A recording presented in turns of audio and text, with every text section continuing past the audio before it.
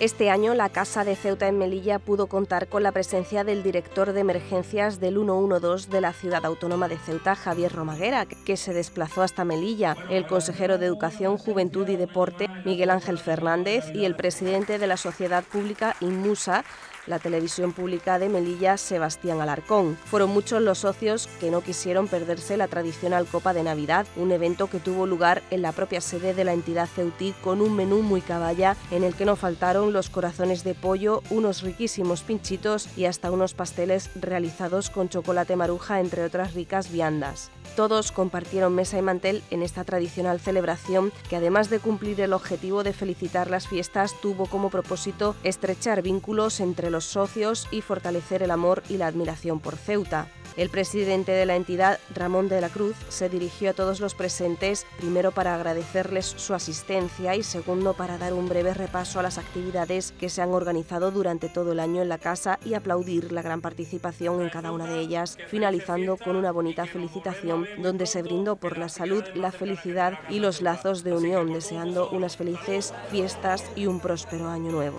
Como colofón a esta gran fiesta de hermandad se brindó por Ceuta, Melilla y España, además de tener un recuerdo muy emotivo para todas aquellas personas, socios y amigos de la entidad que por desgracia se encuentran hospitalizados.